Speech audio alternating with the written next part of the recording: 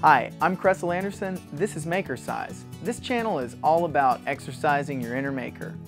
I want you to join me as I go through a longer term project of making a metal lathe from scratch.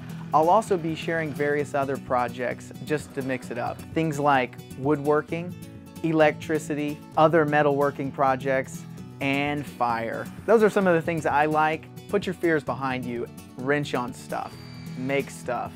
Don't be afraid to screw up a piece of wood or a piece of metal or a vehicle because it's important to explore the boundaries of your skill set. Subscribe to this channel so that you can be notified of future videos.